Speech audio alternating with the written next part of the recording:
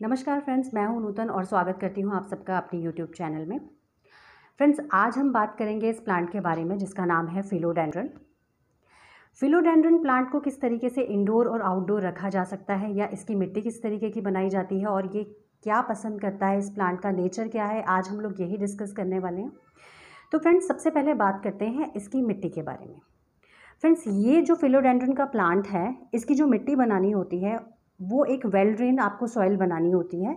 Well drain soil बनाने के लिए आपको इसमें यूज़ करना पड़ेगा एक पार्ट सैंड का सेकेंड पार्ट आपको गार्डन सॉइल लेनी है और थर्ड पार्ट आपको लेना है वर्मी कंपोस्ट तो फ्रेंड्स इस मिट्टी की आपको सॉइल इस तरीके की बनानी है कि जो पानी है, वो इस मिट्टी में ठहरे ना और वो पूरा का पूरा ड्रेन आउट हो जाए। सेकंड हम इसकी बात करते हैं इसके फर्टिलाइज़र के बारे में। तो फर्टिलाइज़र में ये प्लांट ज़्यादा कुछ नहीं माँगता है। आप इसको छः महीने में या चार महीने में एक बार काउडंग मेन्योर दे सकते हैं। ड्राई काउडंग मेन्योर जो होता है वो इस प्लांट के लिए सबसे बेस्ट होता है। मैं अक्सर इस प्लांट को वही देती हूँ। अब बात करते हैं इस प्लांट की लाइटिंग के बारे में तो लाइटिंग के लिए अगर आप इसको आउटडोर रखते हैं तो आप इसको तेज़ धूप में बिल्कुल मत रखिए, क्योंकि तेज़ धूप में ये बहुत अच्छा ग्रो नहीं कर पाता है और इसकी जो लीव्स होती हैं वो बर्न होनी स्टार्ट हो जाती है। और अगर आप इसको इंडोर रखते हैं तो इंडोर रखने के लिए आपको एक ऐसा कॉर्नर ढूंढना चाहिए जहाँ पर थोड़ी छन करके आपकी रोशनी आती हो खिड़की से। और अब बात करते हैं फ्रेंड्स, ये जो देखिए आप देख सकते हैं, मैंने इसमें एक मॉस स्टिक में इस प्लांट को अपना लपेटा हुआ है और इस मॉस स्टिक में ये प्लांट बहुत अच्छे से ग्रो कर रहा है। और दूसरी चीज़, मैं क्या करती हूँ, जब मैं पानी डालती हूँ तो इस मॉस स्टिक को अच्छे से मैं जो है मिस्टिंग कर देती हूँ लीव्स पे भी और इस मॉस स्टिक पे भी।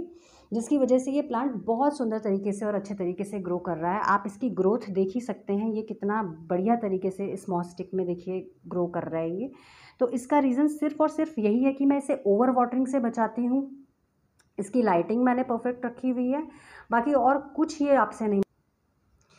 इसके साथ ही फ्रेंड्स ये एक एयर प्यूरीफाइंग प्लांट भी है। अगर आप इसे इंडोर रखना चाहें तो आप इसे इंडोर भी रख सकते हैं। इसकी पत्तियों पे आप अगर मिस्टिंग करेंगे तो इसकी पत्तियाँ बहुत अच्छी रहेंगी साफ़ सुथरी रहेंगी और इसकी ग्रोथ भी बहुत अच्छी होती रहेगी। इसलिए मिस्टिंग ये प्लांट बहुत पसंद करता है। आप कोशिश कीजिए कि आप इसमें मिस्टिंग ज़्यादा से ज़्यादा करें। जब भी आप वाटरिंग करें तो साथ के साथ आप मिस्टिंग भी करते हैं। बाकी ये जो मॉस्टिक है, ये बहुत हेल्पफुल है इस प्लांट के लिए।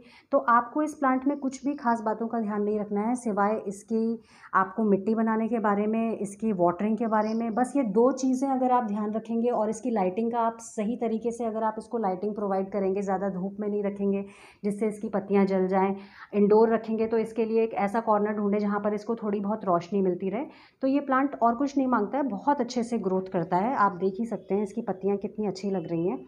तो बस इन्हीं दो तीन चीज़ों का आपको ध्यान रखना है और आपको किसी भी तरीके की प्रॉब्लम नहीं आएगी अपने फिलोडेंड्रन के प्लांट में। तो फ्रेंड्स, अगर आपको मेरी ये वीडियो अच्छी लगी हो तो आप मेरे चैनल को सब्सक्राइब कर दीजिएगा, पसंद आई हो, लाइक कर दीजिएगा, दूसरों के साथ शेयर भी कीजिएगा। तो ऐसे ही और किसी टॉपिक के साथ मैं जल्दी आपसे मिलूँगी, किसी और प्लांट के साथ। तब तक के लिए thank you so much for watching bye friends